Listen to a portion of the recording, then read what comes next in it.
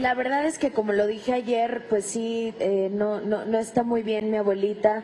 Eh, además está muy preocupada por, por toda la situación del coronavirus en, en el mundo y, y, pues en España ahorita ya está eh, pues eh, complicado el tema, está mi mamá ya y, pues está cuidándola y estamos todos los días hablando con ella, obviamente dándole mucho ánimo, tiene los cuidados necesarios y esperemos que se ponga muy bien pronto. Pero gracias por preocuparse, gracias por preguntar. Yo sé que todos quieren mucho a mi abuelita, le he subido eh, de, a veces en, en, mis redes sociales y ha recibido mucho cariño de todos ustedes, así que con, con mucho agradecimiento. ¿Te gustó lo que acabas de ver?